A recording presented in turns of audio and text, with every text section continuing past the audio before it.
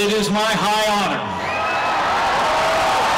and distinct privilege to introduce to all of you across the great state of Wisconsin the President-elect of the United States of America, Donald Trump.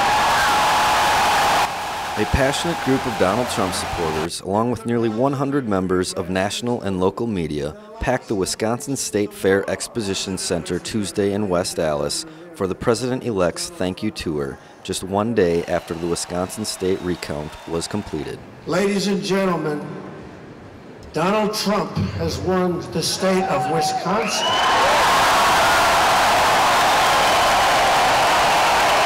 Trump told the crowd that he still plans to build a big, big wall, fix Obamacare, cut taxes, defeat ISIS, and also work on job creation.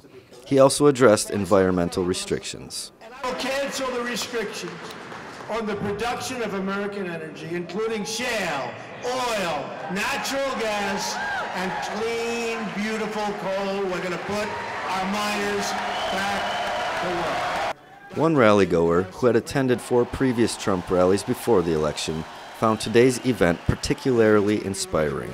Just looking back and seeing, you know, standing room only, everybody's packed in here all the way to the back and everything, it, it was just a humongous crowd. Lots of energy and lots of passion. We can, you know, look around the country and our communities and everywhere, and we just see, you know, problems that need to be fixed, change that is wanted, and you know everybody in here reflected that, and that is why Donald Trump is our, our president-elect. Trump's thank you tour will visit key swing states Pennsylvania on Thursday and Florida on Friday before wrapping up in Alabama on Saturday. As you can see from the empty podium behind me, Donald Trump has left the building. Sources say that a couple thousand people came out for tonight's event here in Wisconsin. For Media Milwaukee, I'm Matthew Mussa.